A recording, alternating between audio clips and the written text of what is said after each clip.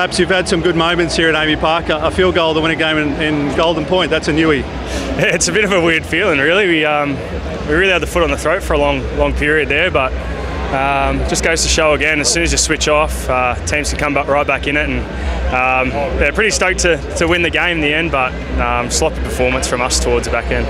Wouldn't it be nice to go in there with Craig's uh, 500th game with a loss? No, it would have been devastating. Um, but we don't have to worry about that now. We'll look at that during the week and see what we can do better. But um, yeah, two from two, so pretty happy. Started the night you weren't goal kicking and you've uh, ended it with a field goal. Yeah. Tell us about what's going on there. Yeah, I did a few kicks the other day at training and um, put up a little bit sore, so I just thought to get through the game, I'll, I'll just um, I won't kick, but um, Harry handed me the duties on that third kick and um, felt okay. So um, big turnaround now, so I'll get more time to get it better. But um, yeah, that's the reason why. And just the feeling being back here after almost a year. Yeah, great. Um, uh, fans are electric, and um, yeah, I've missed this place. It's good to be back, and it's good to get a, a good turnout as well. So hopefully, we can get bigger, bigger crowds in as the year goes on. But yeah, it's a great start.